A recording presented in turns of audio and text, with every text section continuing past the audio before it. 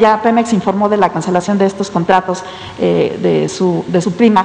¿A usted qué, reporte le dieron? ¿Cómo fue que se otorgaron?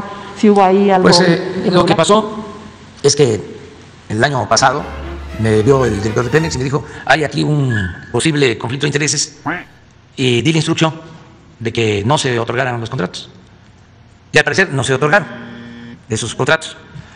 Pero luego, eh, como eh, mi prima tiene una empresa, venía contratando con Pemex de tiempo atrás, este, se reúne, se asocia con otras empresas, ya no aparece ella como la eh, responsable, participan en otras licitaciones y se le entrega el contrato a varias empresas, entre esas empresas la de mi prima.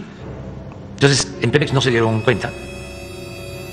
O este, hubo omisión y este, se entregó el contrato o los contratos estos. Entonces, cuando el director de Pemex me informa, pues lo que le digo es, es que se actúe de conformidad con la ley, porque no somos iguales. Pues. Entonces, ese dicho de que, aunque se trate de familiares, no va a haber corrupción, no va a haber influyentismo, nada que este, afecte la transformación de México. A Pemex, este, en el sentido de que debieron cuidar eso. Afortunadamente, pues tengo pues eh, la tranquilidad de que cuando me lo plantean respondo de que no. Eh, y eso pues me da tranquilidad de conciencia.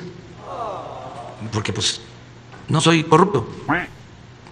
Ese es el problema que tienen mis adversarios, que le pueden buscar y buscar y buscar y no me ha interesado el dinero.